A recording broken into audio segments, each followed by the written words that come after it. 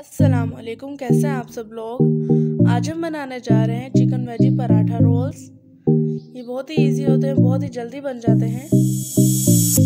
आप इनको ज़रूर बनाएँ, आपको ये बहुत पसंद आएँगे। तो चलिए अपनी रेसिपी देखते हैं।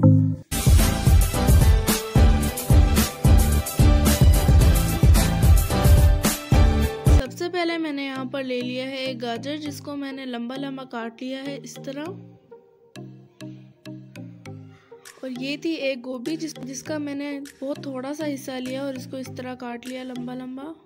और ये दो शिमला मिर्च थी जो कि मीडियम साइज़ की थी, इनको भी मैंने लंबा काट लिया है।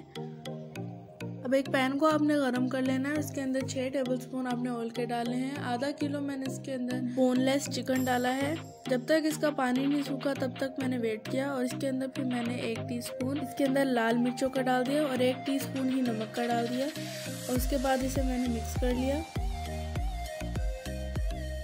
टेस्ट आपके मुताबिक है। अगर आप ज़्यादा चाहते हैं तो आप ज़्यादा भी डाल सकते हैं। अब इसके अंदर मैंने अपनी सारी वेजिटेबल्स डाल दी हैं और अब इसको बहुत अच्छे से हिला लेंगे।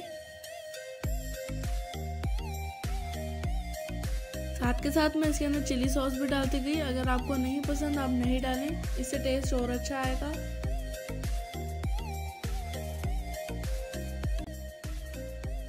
जब तक सारी वेजिटेबल्स अच्छे से बैठ ना जाए और और जब तक चिकन अच्छे से गल ना जाए, तब तक आपने इसे बनाना है। तो ये देखें, यहाँ पर ये रेडी है। तो चलिए अब देखते हैं पीटा ब्रेड कैसे बनेगी। तो इसके अंदर एक कप मैंने डाल लिया है मैदा, एक कप मैंने डाल दिया है आटा। तो अब इसके अंदर हम हंसबे ज़रूरत पानी डाल के इसे गूंदते जाएँगे। इसको आपने पाँच मिनट के लिए गूंदना है, तब तक ये बहुत अच्छी सी डो बन जाएगी और आपके हाथ से लगना बंद हो जाएगी। अब आपने इनके पेड़े बना के इनको बेल लेना है और उसके बाद एक आपने पैन को गर्म करना है, इसके ऊपर ऑयल डालना है। दो से तीन चम्मच डाला है मैंने।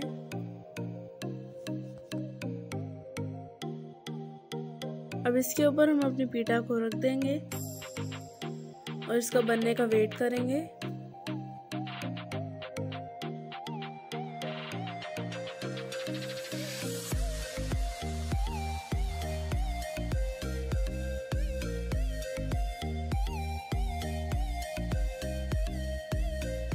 इसी मेथड से आप बाकी की भी तैयार कर लें। और इसके ऊपर यूँ ऑयल लगाते जाएँ। और इसको फ्लिप कर लेंगे।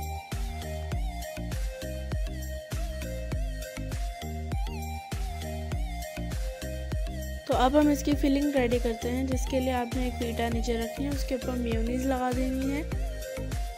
इसको स्प्रेड कर लेना है। उसके बाद चिकन को ऊपर डालते जाना है। केचप मैंने थोड़ी सी डाल के इसे रोल कर लिया। बहुत आसान है, ये रेसिपी आपने इसे ज़रूर बनाना है।